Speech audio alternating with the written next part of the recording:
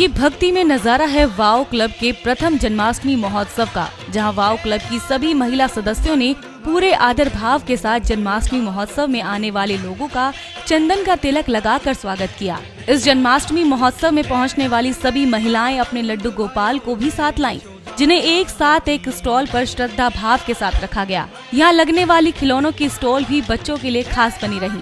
इसी के साथ शुरू हुई जन्माष्टमी की धूम। कहीं भक्त नंदलाला को झुलाते दिखे तो कहीं हुआ भक्ति में डांस।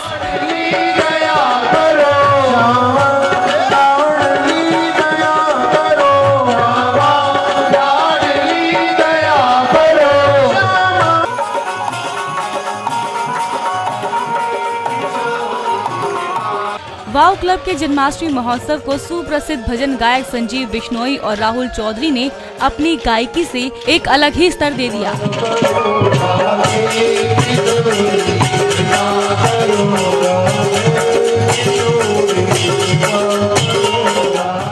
हमने बात की वाव क्लब के सदस्यों से और चाना क्लब और जन्माष्टमी महोत्सव के बारे में कुछ खास। देखिए मुझे ऐसा लगता है ये सब ऊपर वाले की ही कृपा है कि ये ख्याल भी मन में आया और जो कुछ उन्होंने इतना सारा करा लिया। ये हमारी पूरी टीम है वाओ क्लब की लेडीज़ का हमारा ग्रुप है और हम बहुत सारी एक्टिविटीज़ जो हैं वो इस ग्रुप के अंदर करते हैं।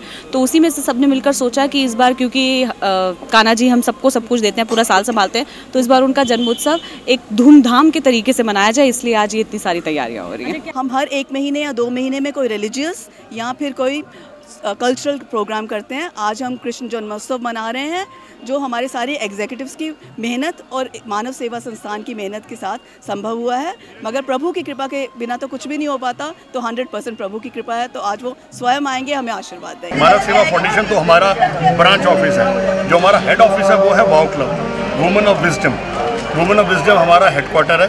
वही सब संचालन करता है और ये कृष्ण जन्माष्टमी जैसे सबको पता है, चौबीस तारीख को जन्माष्टमी है तो उसके लिए आज ये एक उन्होंने भव्य प्रोग्राम किया है। और वाओ क्लब हर दो महीने, चार महीने बाद कोई ना कोई कल्चरल प्रोग्राम या कोई ना कोई धार्मिक प्रोग्राम ये करता रहता है। बता दें वाओ क्लब द्वारा मनाए गए जन्माष्टमी महोत्सव में बनने वाली भगवान कृष्ण की लाइव पेंटिंग भी आकर्षण का केंद्र बनी रही। यहाँ मौजूद भक्त भी कृष्ण की भक्ति में डूबे हुए नज़र आए। इसी बीच कार्यक्रम में अपनी उपस्थिति दर्ज कराने पहुँचे राज्यसभा सांसद सुशील गुप्ता, जिन्होंने बाल गोपाल को झूला झुलाया और भगवान का आशीर्वाद भी लिया। खास बात ये रही कि सुशील गुप्ता ने किसी तरह का वीआईपी ट्रीटमेंट नहीं लिया और भक्तों के साथ ज़मीन पर बैठकर भगवान के भजनों का आनंद उठाया। इसके अलावा दिल्ली सरकार के लेबर मंत्री गोपाल राय ने भी कार्यक्रम में पहुंचकर ये साबित किया कि महिलाओं के इस क्लब का स्तर क्या है। इस दौरान सुशील गुप्ता वाओ क्लब और महिलाओं की तारीफ़ करने ऐसी खुद को रोक न पाए। देश की आधी आबादी महिलाएँ और महिला अगर नहीं होती तो पुरुष की कल्पना करना असंभव था। परंतु हम कानून की बात करते हैं, महिलाओं को बराबरी का अधिकार की बात करते हैं। हम अपने लॉज की बात करते हैं तो वहाँ पे बराबरी का अधिकार है। वास्तविकता अगर हम देखते हैं तो सत्ता के अंदर महिलाएँ बहुत कम है। वास्तविकता हम अगर देखते हैं तो व्यापार में बहुत कम है। वास्तविकता हम देखते हैं तो नौकरियों के अंदर बहुत कम है। ज़रूरत है महिलाएँ आगे बढ़े, ताकि हिंदुस्तान दुनिया के विकसित देशों की श्रेणी के अंदर खड़ा हो सके।